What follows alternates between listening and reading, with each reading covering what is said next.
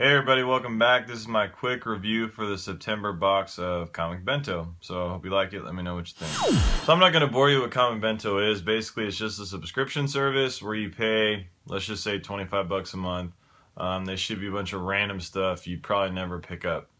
I grabbed it because uh, I'm relatively new to comics and so I don't know anything. I'm I'm blank canvas. So the thought was, well, yeah, let's see some stuff that I would normally not pick out. Let's see if I like it, and if I do, it could just kind of open some doors to some things I haven't read. So, in no particular order, this is what I got in the box. Executive Assistant Iris, and this is Aspen. Highlander. X-O Manowar, Valiant.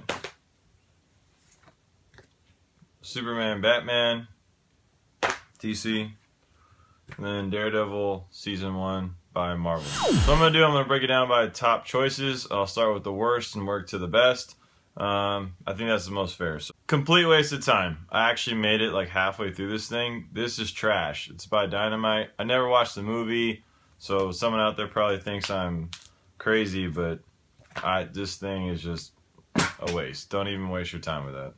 Batman Superman. Um, it wasn't bad. The art was okay. Um, the story. Um, should I spoil it?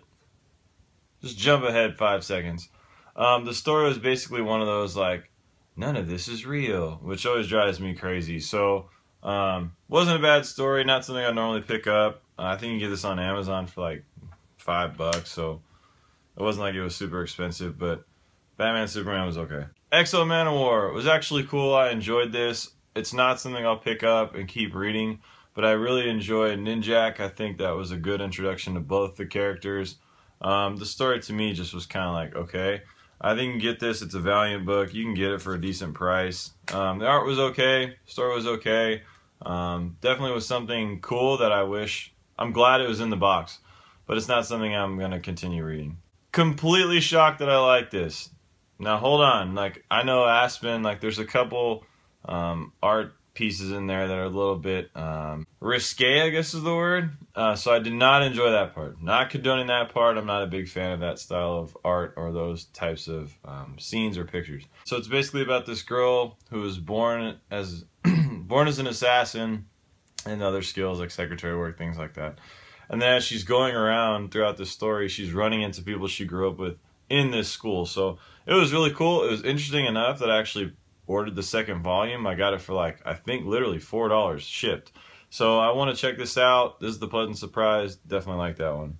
I don't know if this is the winner of the group, but it's definitely in the top two with the executive assistant Iris. I don't know anything about Daredevil. I've wanted to know something about Daredevil. So the season one label that you see on there, before they did Marvel Now and they relaunched stuff and all that, season one, it's kind of something they did to like reintroduce characters and tell their origin story. So I don't know anything, but my guess is this would be like the first couple issues or series of Daredevil kind of condensed into one.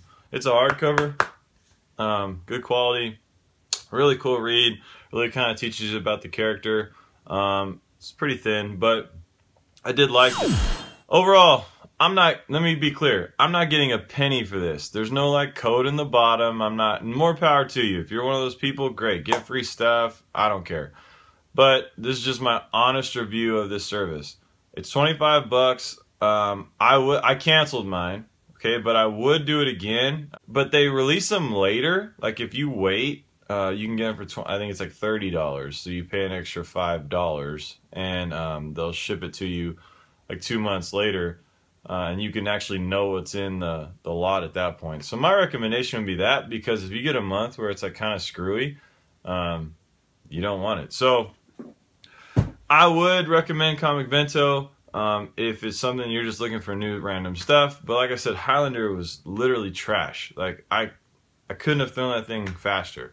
Um, it was just bad. Uh, but the rest of them, I, I get it. I, they're cool, they're interesting, um, not necessarily expensive. You're still paying less than you would pay if you try to pick them all up individually, but not like a ton less. Not enough where it's like good to be surprised. So um, if you're one of those subscription box people, you're going to like it no matter what I say, so go ahead buy it. Uh, if you're one of those people it's like you have to know, you can just wait like two months later and they'll put them up for 25 bucks you got to pay an extra five bucks, but at least you know what you're getting. Or you can just go on Amazon and pick out the ones that seem interesting. Uh, so that was my quick review of the Comic Bento service.